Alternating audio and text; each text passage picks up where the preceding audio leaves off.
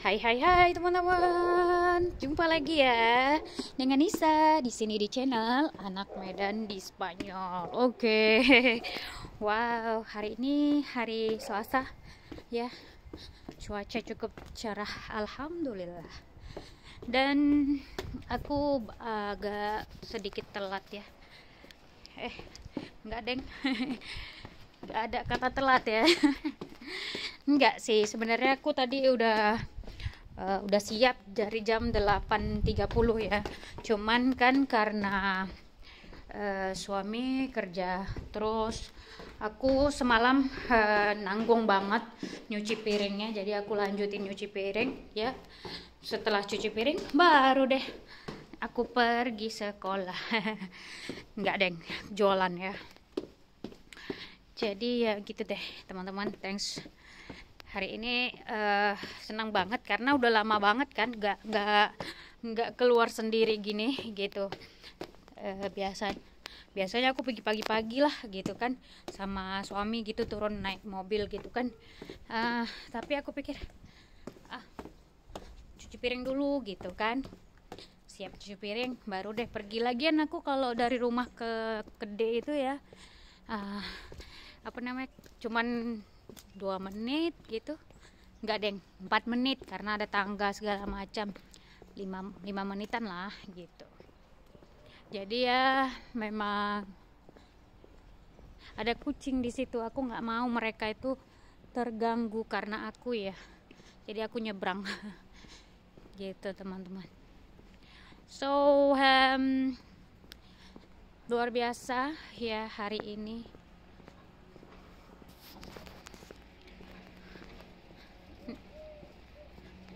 jadi aku nggak tahu mau ngomong apa udah lama banget nggak ngomong.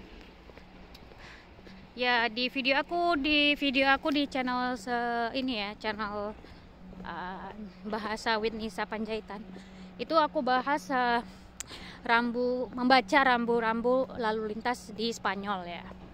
Jadi um, yang aku perlihatkan di situ adalah uh, lihat teman-teman itu cara uh, uh, ngambil sampah di sini ya. Nah itu.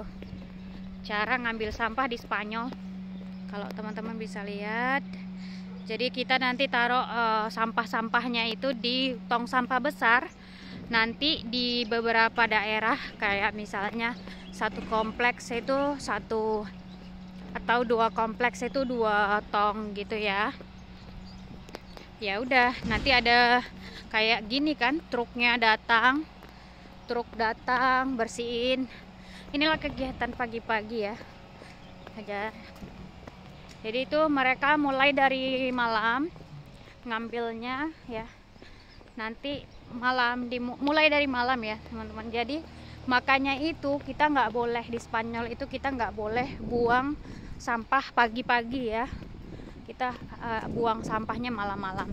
Jadi nanti yang ngambil itu jam-jam 11 jam 12 mereka ngambil sampah sampai pagi gini. Nah di kegiatan pagi juga ya seperti teman-teman lihat ada tukang kebun ya untuk uh, um, membersihkan taman-taman ya. Terus jalan-jalan um, juga dibersihkan ya pohon-pohon biar kalau ada kira-kira pohon yang berbahaya bisa di apa ya dipotong gitu jadi uh, pejalan kaki atau apa uh, masyarakat lain itu bisa uh, lebih uh, apa namanya lebih aman gitu ya. Hmm. Nah ini air mancur. Jadi suasana pagi yang sangat uh, apa ya bisa dibilang uh, menenangkan gitu ya. Kalau di sini memang suasananya seperti ini aja teman-teman.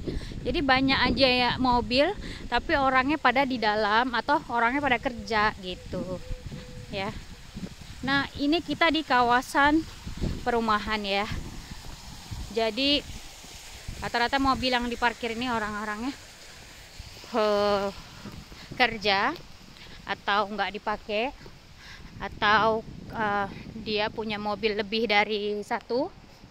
Ya biasa.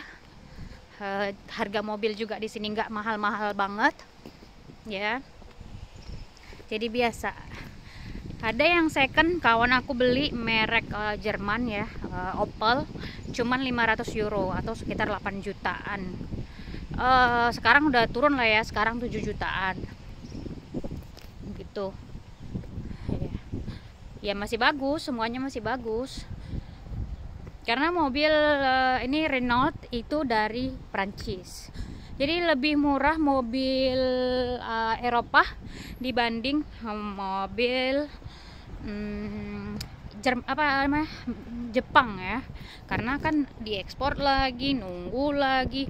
Tambah lagi dengan setelah covid ini uh, pembuatan mobil tuh harus pakai chip dan itu uh, tergantung sama Cina. Jadi kayak nunggu dua bulan lagi kalau memang kita mau yang uh, elektrik gitu. Oke. Okay. aku udah sampai. Ternyata 6 menit ya dari rumah aku ke sini aku ternyata 6 menit. Oke okay, teman-teman terima kasih. Thanks for watching. Jangan lupa di like subscribe dan share. Bye bye